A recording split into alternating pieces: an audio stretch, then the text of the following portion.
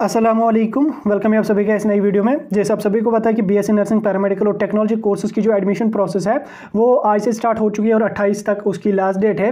तो सारे कॉलेजेस आप अपना जो है एफिडेविट उसका फॉर्मेट और उसके साथ साथ आपको डॉक्यूमेंट्स की लिस्ट और फ़ी की जो रिसेप्ट है वो यहाँ पर निकालेंगे। सबसे पहले जी अनंतनाग ने निकाली थी, उसका ब्राइफ वीडियो मैंने डाला है। पूरा मैंने समझा है क्या कुछ है, वो सारा कुछ आपको समझाया है। और उसके साथ साथ अभी यहाँ पे एस के मसोरा का आ चुका है और उसके साथ साथ जी डोडा का आ चुका है। उन दोनों कॉलेजेस का मैं इस वीडियो में बताऊँगा, बाकी के जो कॉलेज रहते हैं, वो शाम तक निकालेंगे सारे कॉलेजेस मैं आपको स्टेप बाय स्टेप सारे कॉलेजेस का बताऊँगा और फ़ीस स्ट्रक्चर वगैरह सारा कुछ हम आपको समझा देंगे। टेंशन बिल्कुल भी मत लो। तो इस वीडियो को पूरा एंड तक देखेना चैनल को भी सब्सक्राइब करना और टेलीग्राम ग्रुप हमारा ज़रूर ज्वाइन कर देना, क्योंकि वहाँ पर आपको सारे अपडेट जो है वो टाइम टू टाइम मिलेंगे। कभी कभी छोटा कोई अपडेट होता है, वो हम टेलीग्राम पर नोटिफिकेशन वगैरह फॉरवर्ड करते हैं, या किसी सर्टिफिकेट का फॉर्मेट वगैरह होता है, वो हम उधरी फॉर्मेट करते हैं। तो चलिए वीडियो को स्टार्ट कर लेते हैं। तो फ़र्स्ट ऑफ़ ऑल एफिडेविट आपको बनाना पड़ेगा। एफिडेविट का मैंने आपको ऑलरेडी समझा ये आपको जो है कोर्ट से बनता है। इस तरीके का एपिडेविट यहाँ पे आपको बनेगा। इसमें आपने क्या कुछ मेंशन करना है, यहाँ पे ऊपर आपका नाम लिखिएगा।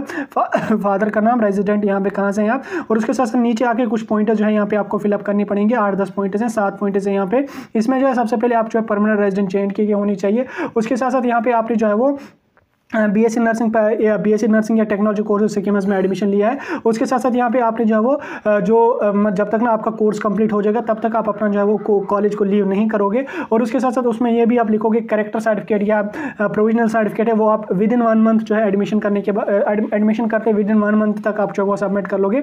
और सबसे इंपॉर्टेंट इसमें यह होता है कि अगर इन केस आप कॉलेज लीव कर देते हो मतलब कि बीच में छोड़ देते हो तो यहाँ पर आपको दस का फाइन भरना पड़ेगा। जैसे जीएमसी अनंतनाग में दो लाख का फाइन उन्होंने रखा है। यहाँ पर जो है दस हज़ार का फाइन आपने जो है वो भरना पड़ेगा। ये सारा कुछ आपने इसमें फिलअप कर देना है। तो इसको पीडीएफ डाउनलोड करने की लिंक मैं आपको डायरेक्टली डिस्क्रिप्शन में दे दूँगा। आप एफिडेविट का पीडीएफ वहाँ से डाउनलोड करना है। तो उसके बाद यहाँ पर आपको कोड से बनेगा वन फिफ्टी का ये पी जो है वो बन जाता है पूरा एफिडेविट तो ये बनाने के बाद आपको नीचे आ जाना है। नीचे आने के बाद यहाँ पे आपको उसका एप्लीकेशन फॉर्म एक यहाँ पे लगा लेना है। एप्लीकेशन फॉर्म में क्या कुछ लिखना है वो मैं बता तो जब आप वहाँ पे डॉक्यूमेंट्स ले, ले जाओगे उसके साथ साथ यहाँ पे आपने जो है वो इस तरीके का एक एडमिशन फॉर्म भी सबमिट करना पड़ेगा। इसका भी प्रिंट आउट आप निकालना है। इसी इसी पीडीएफ में मिल जाएगा। इधर आपने सीरियल नंबर डालना है रैंक अपनी डालनी है उसके साथ साथ यहाँ पे बोपी का रोल नंबर डालना है। कैटेगरी अपनी डालनी है सीरियल नंबर को आप इम्पटी ही रख सकते हैं कोई इशू नहीं है आपके पास अभी सीरियल नंबर नहीं होगा। यहाँ पे अपना फोटोग्राफ डालना है यहाँ पे कोर्स अपना सिलेक्ट करना है। सिलेक्शन नोटिफिकेशन नंबर कौन सा था? नोटिफिकेशन सिलेक्शन लिस्ट जो है, उसकी नोटिफिकेशन नंबर आपको दिखेगा। वो डिमिट ड्राफ्ट जो फ़ी का होगा, वो यहाँ पे आपने लिख लेना, उसका नंबर वगैरह। फ़िलहाल इस इस वाले पोर्शन को आप एमपीटी रख लेना, ये उधर ही आपको समझा देंगे। नीचे आकर यहाँ पे अपना नाम parentage address current address pin code वगैरह डाल के देन उसके बाद नीचे आने के आने के बाद यहाँ पे आपने मोबाइल नंबर सारा कुछ अल्टरनेट वगैरह, सारा कुछ डालना, जो आपकी डिटेल्स वगैरह होती हैं, वो सारी कुछ यहाँ पे आपने डालनी है। उसके साथ साथ जो कुछ भी यहाँ पे आपको पर्सनल डिटेल्स होंगे, वो यहाँ पे डालना है। ये डालने के बाद आपने नीचे आना है। नीचे आने के बाद डॉक्यूमेंट डिटेल्स में आपने कौन कौन सा डॉक्यूमेंट सबमिट कर देना है। पहले टेंथ की मार्कशीट जो है जो जो डॉक्यूमेंट आप यहाँ पे लगा लोगे, उसका यहाँ पे स्टेट्स भी अपने सबमिट करना है। इनकी टेंथ की मार्कशीट आपने सबमिट की, इसको येस कर देना है। ट्वेल्थ की मार्कशीट भी भरनी है डेट ऑफ़ बर्थ भी भरनी है प्रोविजनल करेक्टर सर्टिफिकेट भी भरनी है डोमिसाइल भी भरनी है, उसके बाद कैटेगरी अगर है कोई तो वो भरनी है। माइग्रेशन सर्टिफिकेट भी भरनी है एफिडेविट भी भरना है, जो ऊपर आ गया। अनमेरिड सर्टिफिकेट जो है, वो सिर्फ़ और सिर्फ़ फीमेल नर्सिंग कैंडिडेट जो है, जिनको, जो फीमेल कैंडिडेट्स हैं, जिनको बीएससी नर्सिंग में एडमिशन हुआ है। उनको अनमेरिड सर्टिफिकेट भी यहाँ पे बनेगी। अनमेरिड सर्टिफिकेट आपको जो है वो, तहसील ऑफ़िस से बनेगी। उसके बाद डीमिट ड्राफ्ट आपको जो है वो भरना पड़ेगा। कितना भरना पड़ेगा? यहाँ पे आपको ten thousand plus eight thousand five hundred for technology को कोर्सेज यानी कि जिनका टेक्नोलॉजी में एडमिशन हुआ है, उनको अट्ठारह हज़ार पाँच सौ रुपये यहाँ पे फ़ी पे करना पड़ेगा। और उसके साथ साथ जिनको यहाँ पे नर्सिंग में हुआ, उनको बारह हज़ार पाँच सौ रुपये यहाँ पे फ़ी इनको पे करनी पड़ेगी। ये दो ड्राफ्ट आपने जो वो फ़ी का है, ये आप देख सकते हैं इसमें। उसके साथ साथ जो जो डॉक्यूमेंट यहाँ पे सबमिट कर लोगे, उसको येस करना, जो एम रहेगा, उसको नो करना है। उसके साथ साथ जो आपकी प्रोविजनल करेक्टर सर्टिफिकेट है, इसको ये ऑरिजिनल में सबमिट करना है। माइग्रेशन सर्टिफिकेट भी ऑरिजिनल में सबमिट करनी है। बाकी का यहाँ पे आपने ऑरिजिनल भी ले जाना है। और उसके साथ साथ आपने जीरोक्स दो दो कॉपीज भी ले जाने। ये सारा कुछ आपको जो है वो सिक्किम सौरा के कैंडिडेट्स के लिए फ़ीस स्ट्रक्चर और डॉक्यूमेंट्स वगैरह सारा कुछ यहाँ पे उनका है और एफिडेविट का फॉर्मेट भी यहाँ पे है। इसके बाद यहाँ पे हम आ जाते हैं जीएमसी डोडा में, जो गवर्नमेंट नर्सिंग कॉलेज डोडा है, इसमें यहाँ पे आपको कौन कौन सा डॉक्यूमेंट लगेगा। जिन कैंडिडेट्स को बीएससी नर्सिंग में एडमिशन हुआ है जीएमसी डोडा में, उनके लिए ये वीडियो उनके लिए ये नोटिफिकेशन है।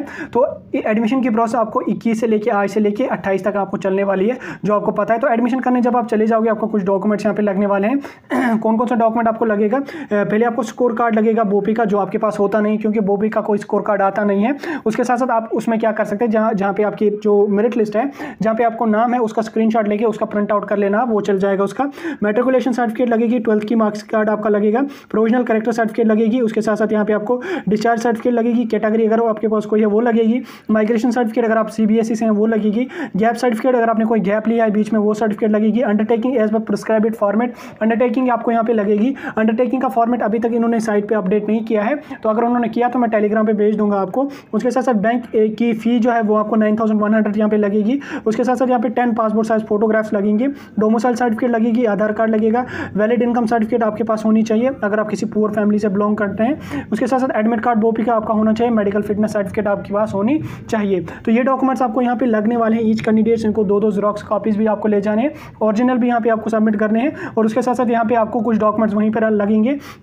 जैसे आपको प्रोविजनल करेक्टर डिस्चार्ज सर्टिफिकेट होती है एफिडेविट होता है गैप सर्टिफिकेट होती है, ये आपको ओरिजिनल में ही वहाँ पे सबमिट करनी पड़ेगी। उसके बाद इनकम सर्टिफिकेट भी आपको वहाँ पे ओरिजिनल में ही लग जाएगी। इनकम सर्टिफिकेट अगर आपके पास है तो ले जा सकते हैं। नहीं है तो कोई इशू नहीं है। बाकी इसमें फ़ी आपको जो है वो नाइन थाउज़ेंड वन हंड्रेड यहाँ रहने वाली है। तो ये था जी डोडा और उसके साथ साथ जो स्कीमस हो रहा है हमारा इन दो कॉलेजेस का यहाँ पे फ़ीस स्ट्रक्चर और उसके साथ साथ डॉक्यूमेंट्स का अपडेट बाकी की कॉलेजेस का आ जाएगा, वो भी मैं आपको बता दूँगा। फ़िलहाल हम वीडियो को यहीं पर खत्म कर लेंगे। टेलीग्राम ग्रुप आप हमारा ज़रूर ज्वाइन कर देने। वहाँ पर आपको सारी नोटिफिकेशन मिलते रहेंगे और जो भी डाउट होगा आप मुझसे वहाँ से कंटेक्ट कर सकते